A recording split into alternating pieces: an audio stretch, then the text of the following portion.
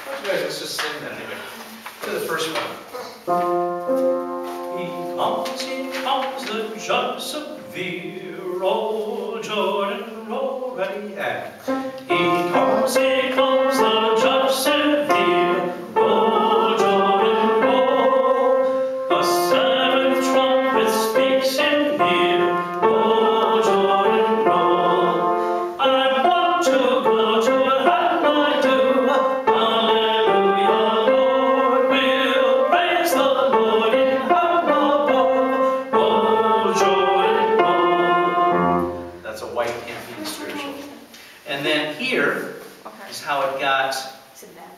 Oh. translated by African American community. Oh, brothers, you ought to have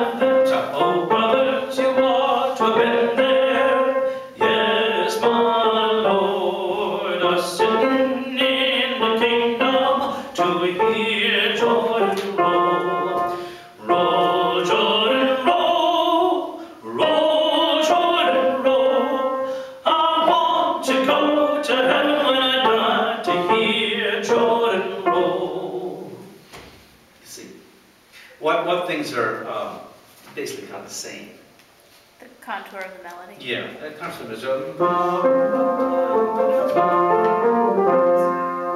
Um, you know, and a lot of the text is the same. Roll, Jordan, roll. Yeah, but there's no Judge Severe coming, is there? Yeah. Others, you ought to have been there. Yes, my Lord. Um, what's different? Yeah, you don't have the judge severe. What's else different? The rhythm. Yeah. The rhythm. Yeah, the rhythm's got a little more syncopation to it, a little more complicated. What else do you know different as you're looking at the, the page there? What's added in the bottom one that's missing in the top one? The flatted. Yeah, you see that flat? yeah. Roll. Roll, Jordan, roll. That's a flat seventh, you know. Mm-hmm. One, two, three, four, five, six, seven, eight. A seventh scale degree. One, two, three, four, five, six, seven. It's no bluesy. So a lower third would be one, two, three,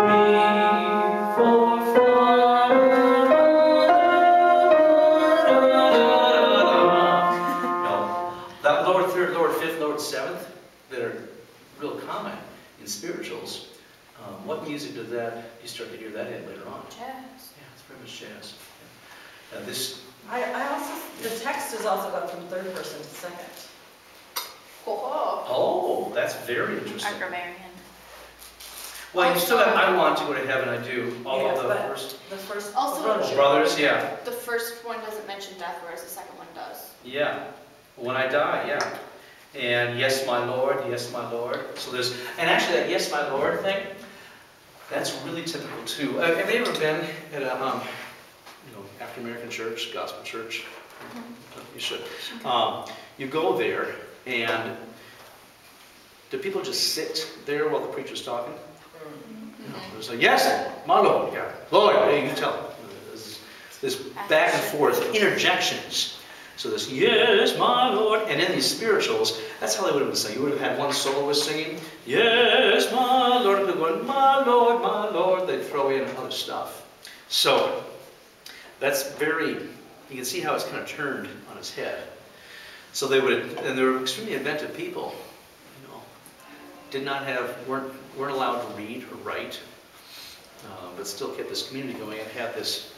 There are actually about 6,000 slave songs in the Library of Congress that have been transcribed. Just people going out and, you know, so it's a huge body of music. Um, Great, like I'll take these back too if you're done with those. And what was kind of fun, um,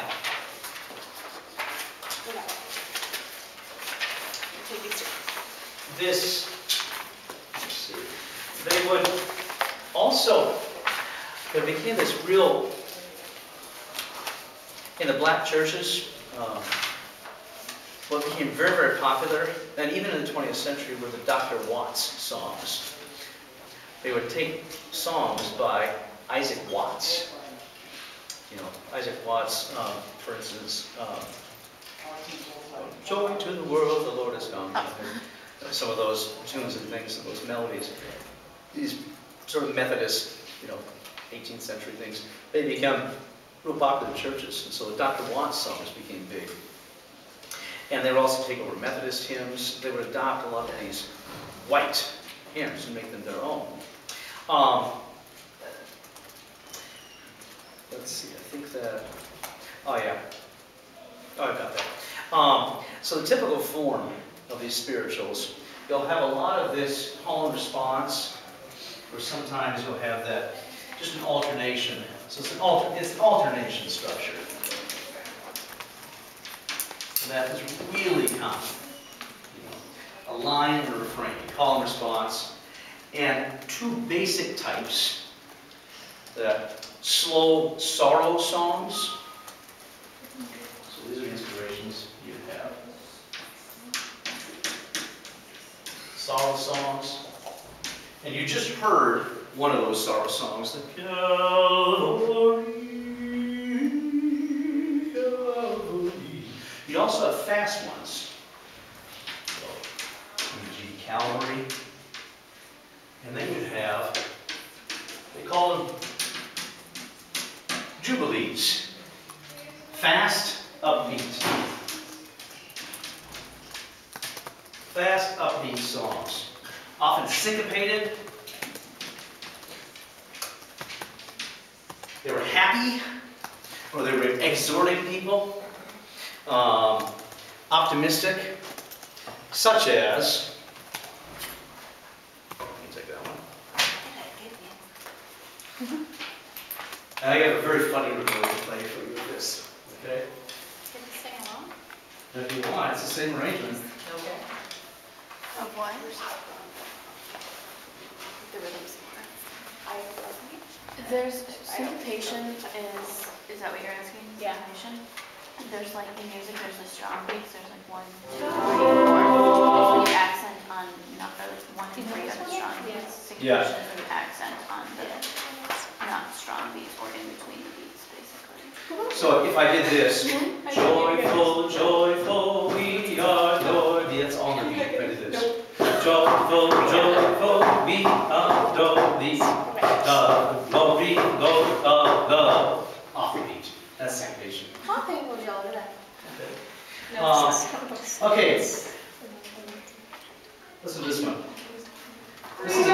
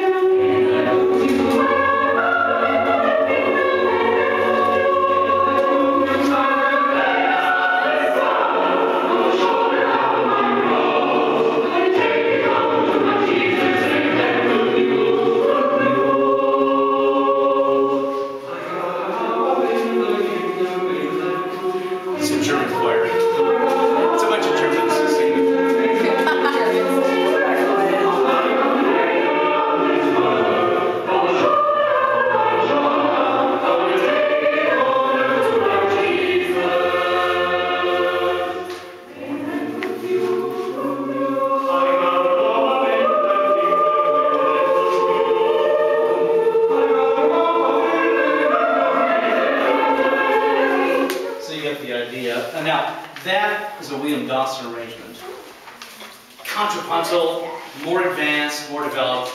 That probably wouldn't have been the way this picture would have been done. Here's another one. Little David playing my harp, playing your harp. Another Jubilee. This one by the most spoken How for. loud?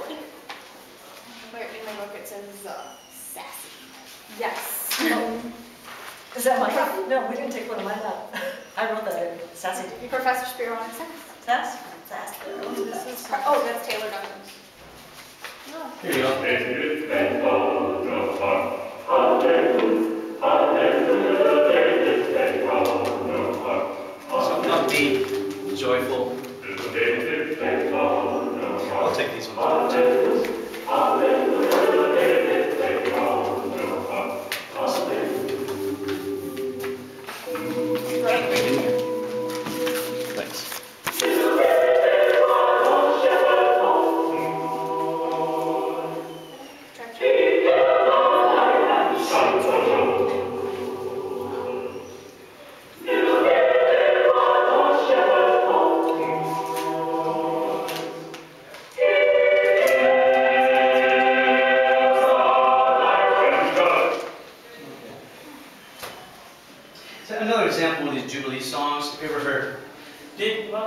oh, deliver, Daniel, deliver, Daniel, deliver, Daniel, Imalo, deliver, Daniel. And that's the way the rhythm is. It's this really offbeat, really funky.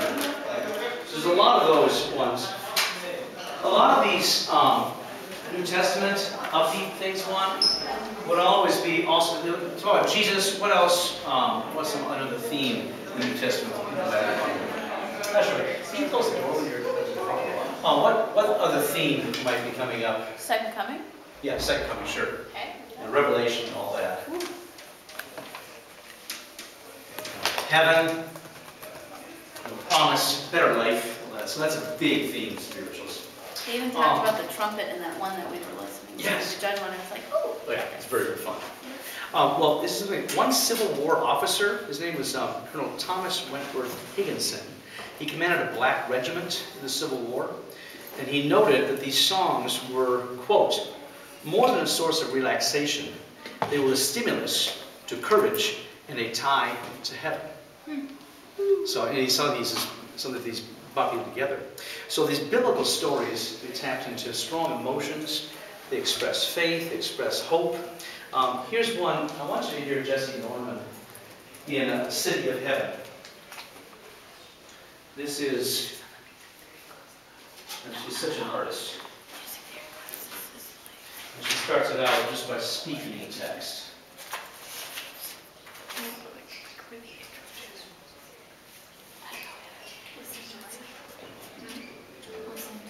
I don't know. Yeah. So is it like this? Okay, here you go.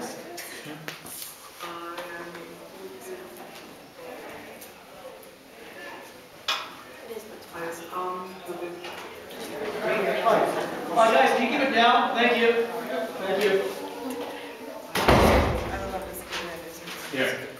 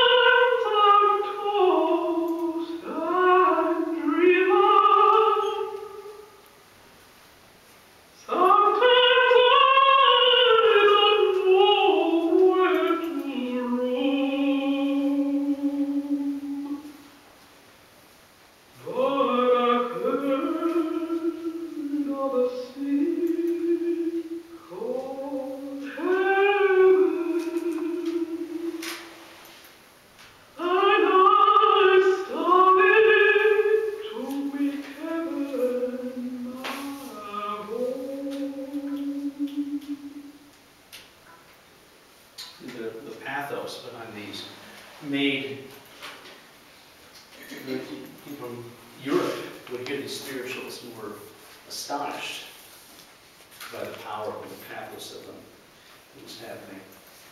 Now, I mentioned the spirituals also, there's a little bit of a counterculture, subversive thing underneath them. There is, and they recognize it themselves, that underneath these was often a code language. the spirituals themselves stood for something else. Frederick Douglass,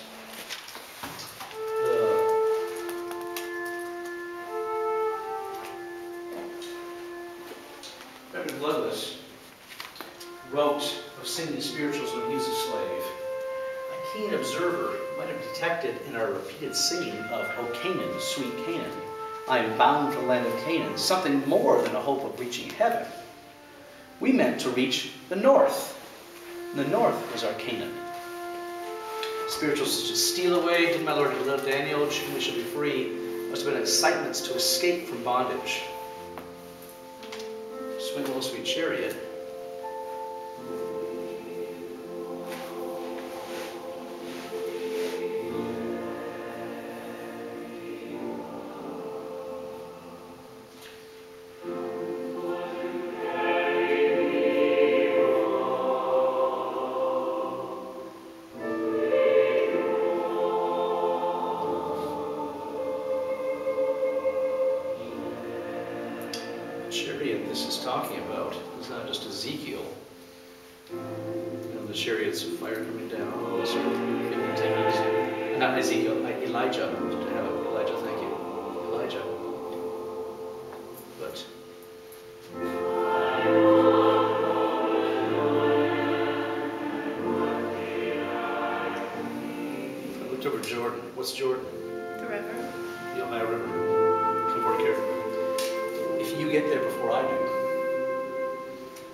you're for me.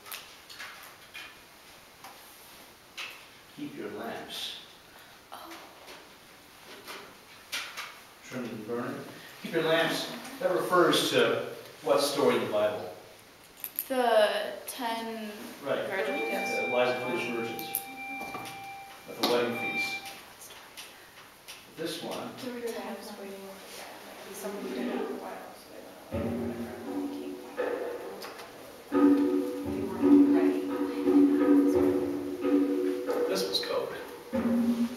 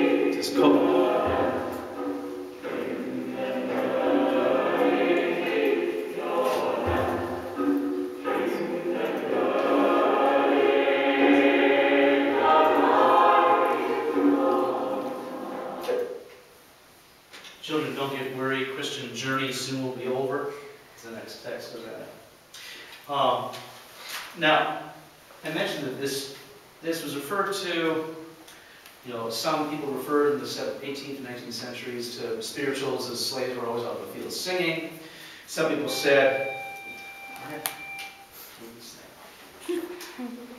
um, you know, there was one woman that wrote in her diary in 1830 about the style of the singing, but it wasn't until 1867 that there was um, really anything that was published.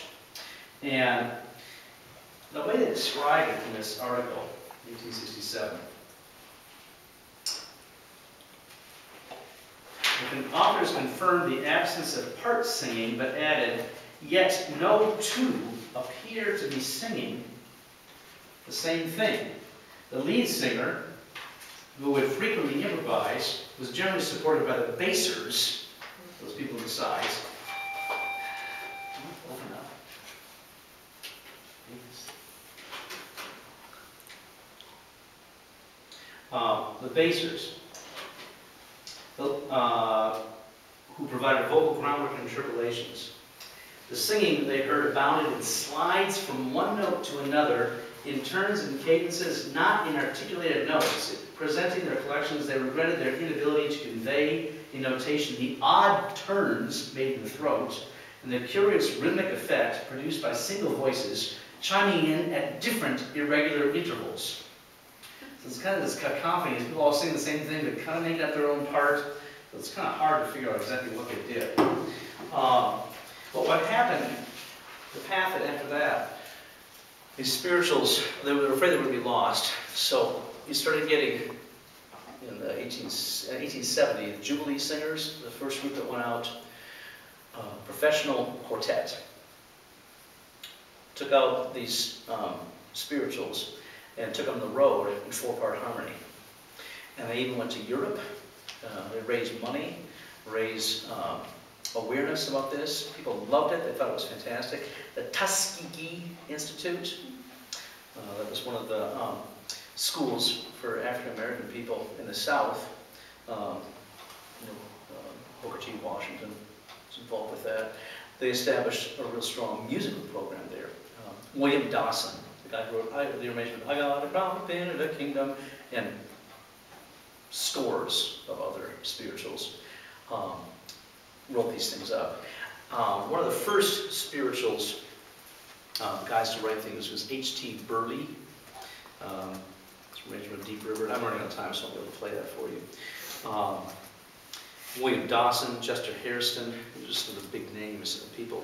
But William Dawson, actually, uh, Andre Thomas, um, who was our clinician last year for Corliss Finale and who's a wonderful composer, he met William Dawson, who died in 1990. And um, Andre tried to write the spirituals more simply. And William Dawson wrote these you know, real complicated things. And he actually criticizes, he told Andre, you gotta write more counterpoint what you're doing here. Because he wanted it to be much more of a art form on par with Europeans.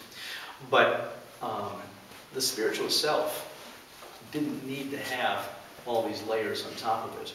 Um, Antonin Dvorak, Czech composer, he came and visited the United States in 1890, 1890 1893. He actually came and visited some of his relatives in Spillville, Iowa. Up in northeast, northeastern Iowa, all this Czech community. And he was blown away by the African American spiritual, the slave song. He said, This is the most original thing.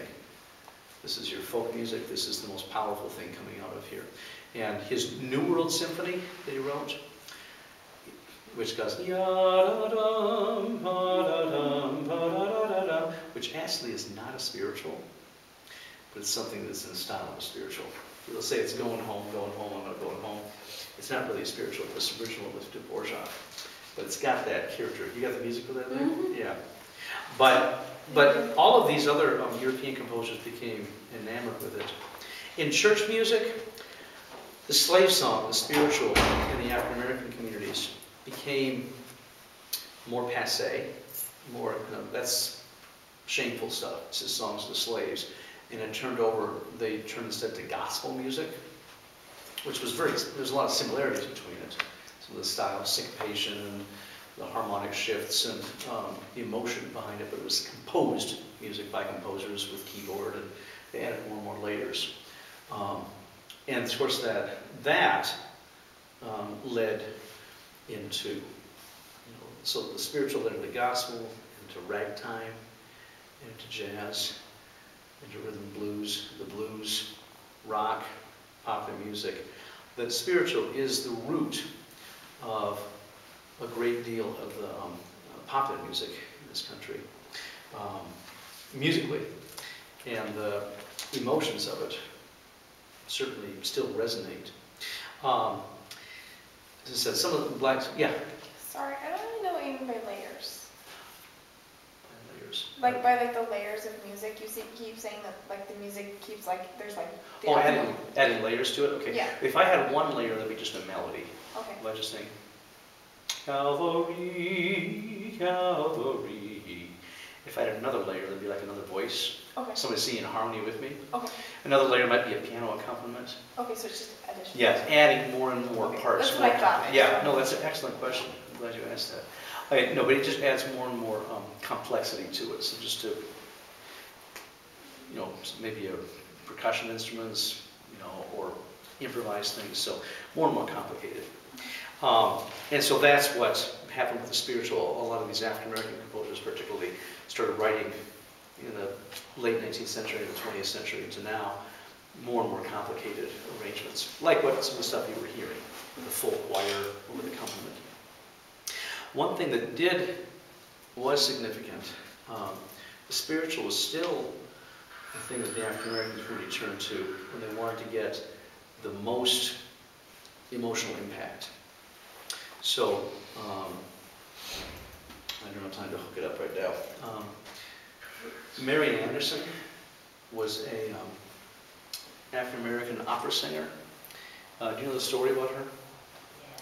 19, I think it's 1935, 36. Um, she was supposed to do a concert at Constitution Hall in Washington, D.C. And the Daughters of the American Revolution, who ran Constitution Hall, denied her the right to sing there because she was black. And um, Eleanor Roosevelt then got, and this is on, was it Easter Sunday morning? It was in a Holy Week, I know. They had her, they, she did a concert on the Lincoln Memorial on the stage. And you can YouTube it, you can find, I found it on YouTube.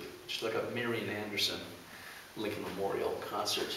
You'll see this rather extraordinary event. And the, the mall was packed with people. And it was a huge turning moment. And she sang this concert there. Included in that were some spirituals. And you can also look up Marian Anderson singing spirituals. She's this contralto. We just uh, sing huge low notes.